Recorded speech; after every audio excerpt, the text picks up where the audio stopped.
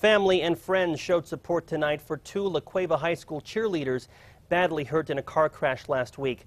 Over 100 people showed up for a prayer vigil tonight at the La Cueva soccer field in honor of Lily Pickard and Jessica Sanchez. The 16-year-old girls were ejected from their SUV when it rolled on Paseo del Norte and Tramway on Monday. Neither girl was wearing a seatbelt. Family members say all the support has really helped them through this difficult time.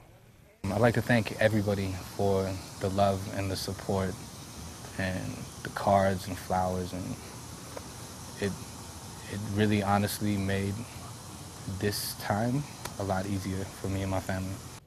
Family members say the girls are showing improvement, but they still have a long road ahead of them.